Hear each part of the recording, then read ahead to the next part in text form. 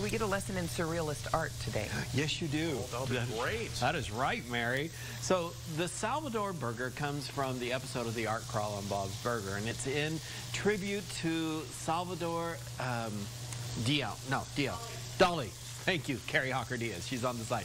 Uh, Salvador Dali, uh, and that's where it comes from. And it's a hysterical episode if you haven't seen it, but what a fun way to do it. So this burger here deals with some cauliflower, obviously. And so I wanted to show you a couple of different things here. So first of all, these cauliflower pieces I actually baked off, a little salt and pepper.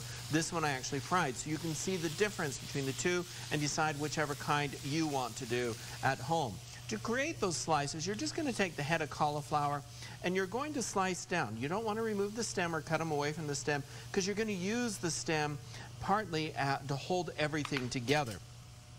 And when you get to the point to where you basically cut all the stem away, what you're going to see are these, these little pieces of it, and you're going to use the small little pieces of stem to cut through and to keep those together.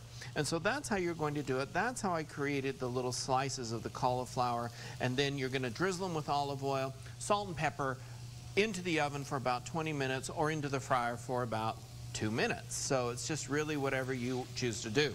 Now, I've been getting some razz from some of my professional chef friends about French fries, and it's hysterical because they're teasing me saying I don't know how to make French fries from scratch. So I'm going to show you how to make French fries from scratch today.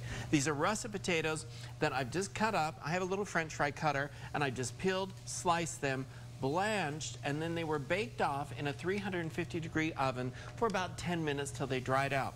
They've cooled down to room temperature. They're best if you put in the refrigerator, but they are ready now to go into the fryer. So today's hamburger, when we come back, I'll show you how to put it all together, is going to have the homemade french fries on it, which are going to be that much more delicious. And Mary, I did save you some onion rings, so Good. you're good to go. They're the were, best. Those are great They are onion really rings good. yesterday. you know, you haven't had a flop yet. Oh, thank goodness, Yes. Ron Yeah. Bird. a burger guy.